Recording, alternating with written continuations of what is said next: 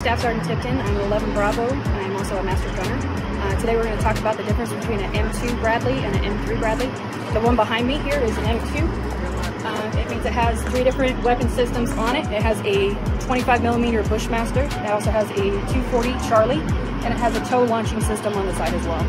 The difference between it and the uh, FIST Bradley is what we call it. It's also a M3 Bradley is the fact that it has only two additional weapon systems. It has the Bushmaster as well, along with the coax, and then it has a laser guided system for what the fisters use for their potential firing systems. The difference as well is the fact that the M3 Bradley is only going to house four individuals in that vehicle as it moves around the battlefield and the M2 Bradley is meant to move infantry dismounted troops as well. So it will fit an entire squad in the back, making it so that there is seven dismounts and the three crew members as well. So 10 total people can uh, move around in this vehicle as well.